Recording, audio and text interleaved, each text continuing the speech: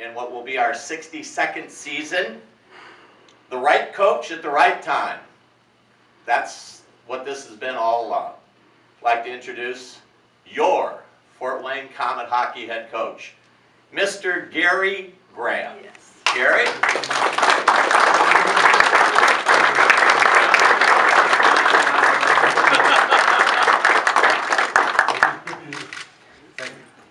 Well, the good news about this, I see a lot of uh, familiar faces in here, obviously from my four time, four uh, years as an assistant coach here, and I think the reality of it is, is this next year will be my 11th year coach, and, and I take a look back on those 11 years, and, and five years ago, I'll never forget really what happened for me, and, and the reason I'm standing here in front of you is I talked to Guy Dupuis that summer, and, and I just asked Guy, I said, can you please put me in front of Al Sims?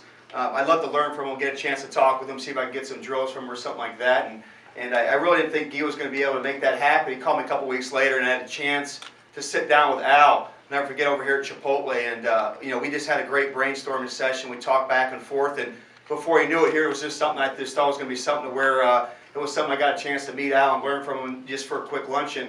He was asking me about you know the potential to come and work for him the next year.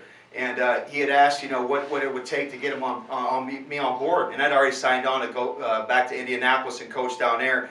And uh, I said, well, how about I just volunteer because I just want to get into the door and, and, make sure I can prove myself and, and show you guys what an asset I can be to the organization. I'll never forget that. That year, my first year here five years ago, I was coaching a AAA team down in Indianapolis um, and also coming back and forth, and I ran uh, practice every day with Al. That year, I coached over 120 games and was coaching all over the country. And, and I learned so much that first year, and I was able to learn from Al that first year and take a lot of that stuff that I was learning and take that down to Indianapolis where I was able to turn around a AAA team, and it was, it was a lot of pride for me. And then from there, obviously, as we all know, uh, we had a chance to win a championship my first year here. Um, the second year, we won a championship, which I was really proud of. And then we broke into the Central Hockey League.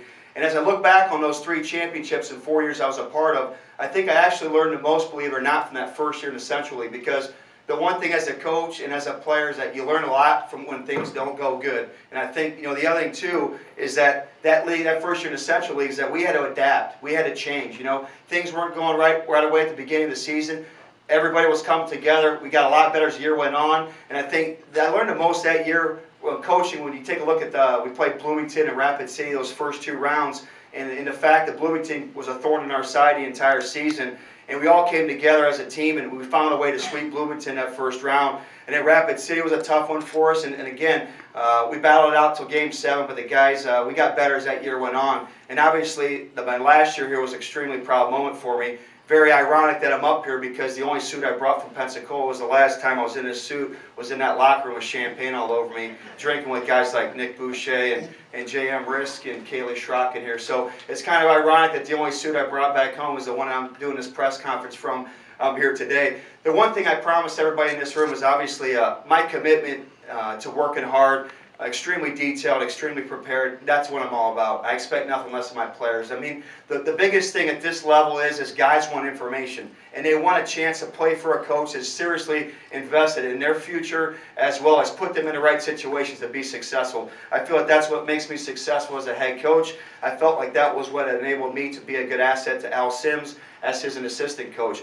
And, uh, and let's be honest, I mean, I had a chance to learn from a great coach at Al, and most importantly from great players like Colin Chaulk and Guy Dupuis and Nick Boucher that have been around here for so long. You know, I, I try to learn from